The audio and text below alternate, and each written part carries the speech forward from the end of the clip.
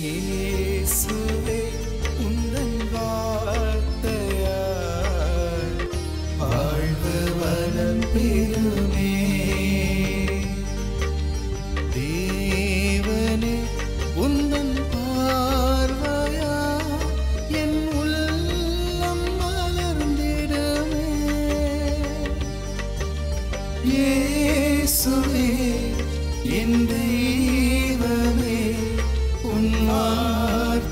ஒளிர்ந்திடுமே முதல் வாசகம். திருத்தூதர் பவுல் கொருந்தியருக்கெழுதிய முதல் திருமுகத்திலிருந்து வாசகம். அதிகாரம் ஒன்று திருவசனங்கள் ஒன்று தொடக்கம் ஒன்பது வரை. கொரிந்தி நகரிலுள்ள கடவுளின் திருச்சபைக்கு அவர் திருவுளத்தால் இயேசு கிறிஸ்துவின் திருத்தூதனாக அழைக்கப்பட்ட பவுலும் சகோதரராகிய சொஸ்தேனும் எழுதுவது இயேசு கிறிஸ்துவோடு இணைக்கப் பெற்று தூயோராக்கப்பட்டு இறைமக்களாக இருக்க அழைக்கப்பட்டுள்ள உங்களுக்கும் எல்லா இடங்களிலும் நம் ஆண்டவர் இயேசு கிறிஸ்துவை அறிக்கையிடும் யாவருக்கும் நம் தந்தையாம் கடவுளிடமிருந்தும் ஆண்டவர் இயேசு கிறிஸ்துவிடமிருந்தும் அருளும் அமைதியும் உரித்தாகுக. இயேசு கிறிஸ்து நமக்கு மட்டும் அல்ல அனைவருக்கும் ஆண்டவர். கிறிஸ்து இயேசுவின் வழியாக நீங்கள் பெற்றுக்கொண்ட இறையருளை முன்னிட்டு உங்களை நினைத்து என் கடவுளுக்கு என்றும் நன்றி செலுத்துகிறேன். ஏனெனில் நீங்கள் கிறிஸ்துவுடன் இணைக்கப் பெற்று சொல்வன்மையும் நிறையறிவும் பெற்று எல்லா வகையிலும் செல்வர்களானீர்கள். மேலும் கிறிஸ்து இயேசுவை பற்றிய சான்று உங்களால் உறுதிப்படுத்தப்பட்டுள்ளது. ஆண்டவராகிய இயேசு கிறிஸ்து வெளிப்படுவதற்காக காத்திருக்கும் உங்களுக்கு அருட்கொடையதிலும் குறையே இல்லை. நம் ஆண்டவர் இயேசு கிறிஸ்து வெளிப்படும் நாளில் நீங்கள் குறை சொல்லுக்கு ஆளாகாதிருக்க அவர் உங்களை இறுதி வரை உறுதிப்படுத்துவார். கடவுள் நம்பிக்கைக்குரியவர். தம் மகனும் நம் ஆண்டவருமாகிய இயேசு கிறிஸ்துவின் நட்புறவில் பங்கு பெற உங்களை அவர் அழைத்துள்ளார். இது ஆண்டவர் வழங்கும் அருள்வாக்கு. புனித மத்திய எழுதிய நற்செய்தியிலிருந்து வாசகம். இருபத்தி நான்காம் அதிகாரம் திருவசனங்கள் நாற்பத்தி இரண்டு முதல் ஐம்பத்தி ஒன்று வரை. அக்காலத்தில் இயேசு தம் சீடரிடம் கூறியது விழிப்பாயிருங்கள். ஏனெனில் உங்கள் ஆண்டவர் எந்த நாளில் வருவார் என உங்களுக்கு தெரியாது. இரவில் எந்த காவல் வேளையில் திருடன் வருவான் என்று வீட்டு உரிமையாளருக்கு தெரிந்திருந்தால் அவர் விழித்திருந்து தம் வீட்டில் கண்ணமிட விட மாட்டார் என்பதை அறிவீர்கள். எனவே நீங்களும் ஆயத்தமாயிருங்கள். ஏனெனில் நீங்கள் நினையாத நேரத்தில் மாநில மகன் வருவார்.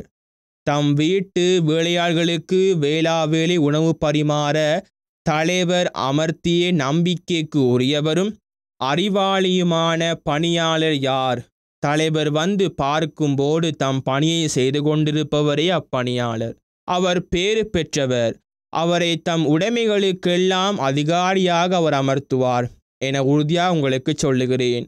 அப்பணியால் பொல்லாதவனாயிருந்தால் தன் தலைவர் வர காலம் தாழ்த்துவார் என தம் உள்ளத்தில் சொல்லிக்கொண்டு தன் உடன் பணியாளரை அடிக்கவும் குடிகாருடன் உண்ணவும் குடிக்கும் தொடங்குவான். அப்பணியால் எதிர்பாராத நாளில் அறியாத நேரத்தில் அவனுடைய தலைவர் வருவார். அவர் அவனை கண்டன் துண்டமாய் வெட்டி வெளிவேடக்காரருக்குரிய இடத்திற்கு தள்ளுவார். அங்கே அழுகையும் அங்கலாய்ப்பும் இருக்கும். இது கிறிஸ் வழங்கும் வாழ்வு தரும் நற்செய்தி. இறையேசுவில் அன்பார்ந்த சகோதர சகோதரிகளே அன்பான பிள்ளைகளே இந்த புதிய நாளிலே இந்த இனிமையான காலை வேளையிலே உங்கள் அனைவரையும் சந்திப்பதற்கு இறைவன் கொடுத்த வாய்ப்புக்காக நன்றி கூறுகின்றேன். இறையேசுவில் அன்பார்ந்தவர்களே இன்றைய நாளுக்குரிய நற்செய்தி வாசகத்திலே கூறப்படுகின்றது. வெளிப்பாயிருங்கள் ஏனெனில் உங்கள் ஆண்டவர் எந்த நாளில் வருவாரென உங்களுக்கு தெரியாது.